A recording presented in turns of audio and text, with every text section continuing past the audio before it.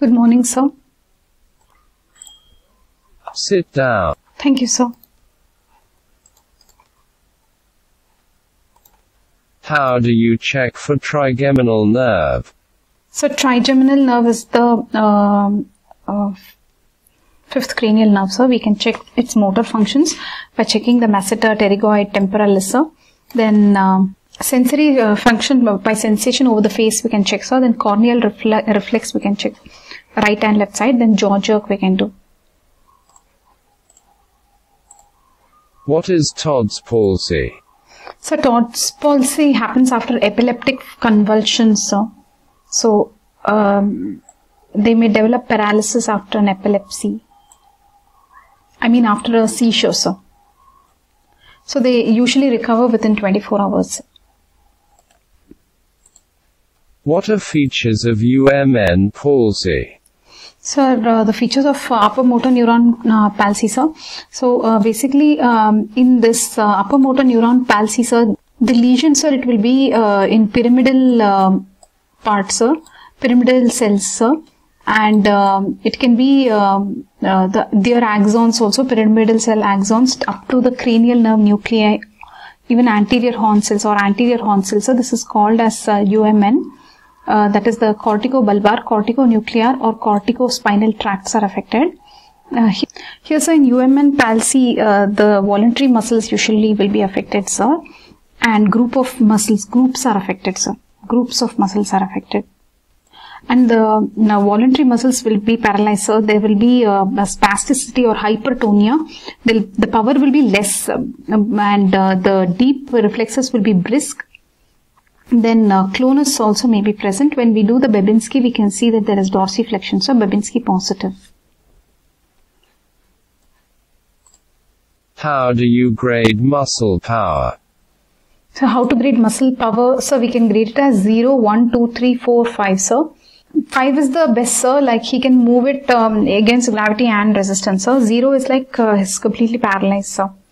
And uh, 1 is just flicker is there and uh, so 3, 4, 5 we can see, sir. 3, 4, 5 everything is um, uh, against gravity, so he can move against gravity. 3, 4, 5. Which are the possible sites of lesion in hemiplegia? So the bo- possible sites of lesion in hemiplegia can be the uh, the cortex, uh, the or the subcortex, uh, subcortical, sir. Then it can be internal capsule, brainstem, or spinal, sir.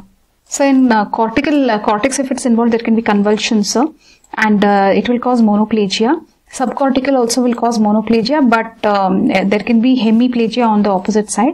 Internal capsule, sir, it's the most common, so we should know this. Uh, internal capsule uh, is, uh, is the most commonly affected place for cerebrovascular accident. Complete hemiplegia will be there on opposite side, sir. Brainstem always, it will cause crossed hemiplegia. That is the face of the opposite side will be affected, sir. Then uh, at the medulla, the fibers will cross. So whenever there is spinal lesion, sir, the ipsilateral hemiplegia will occur, sir, and there will be no cranial nerve involvement also. So this is called as incomplete hemiplegia. Ipsilateral side affected, no cranial nerves will be involved, sir, in uh, spinal.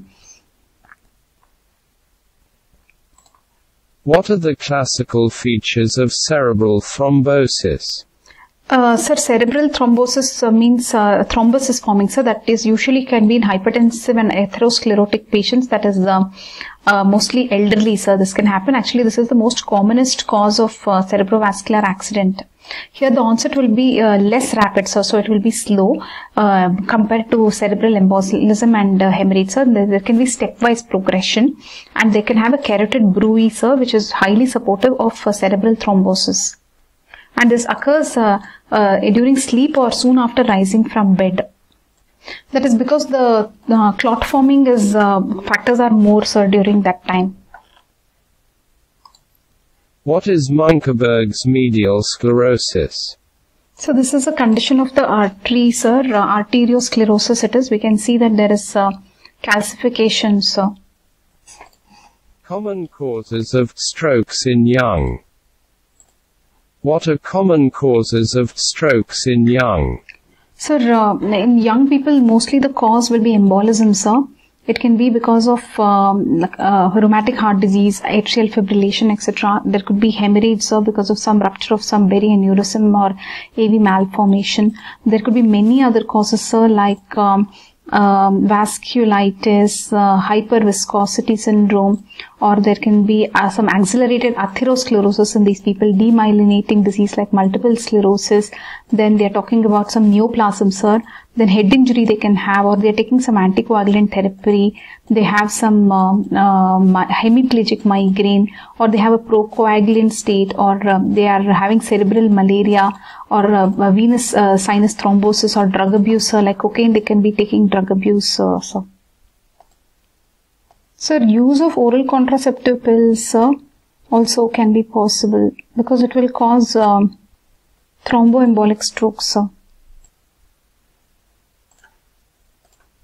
What is Guillain-Barre syndrome?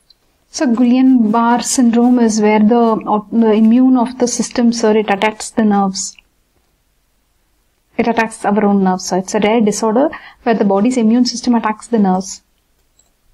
What is Brown-Séquard syndrome? So Brown-Séquard syndrome is the hemi the hemisection of spinal cord, sir. So, so uh, at the level of the lesion, sir, uh, all sensations will be lost. Sir, below it, uh, on one side, um, uh, on the same side, you will lose the position, sense, fine touch, vibration. On the opposite side, you will lose pain, temperature, etc.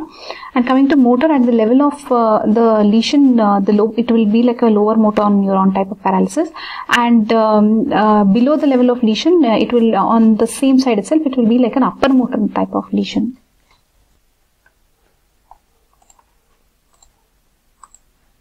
What are the common causes of peripheral neuropathy?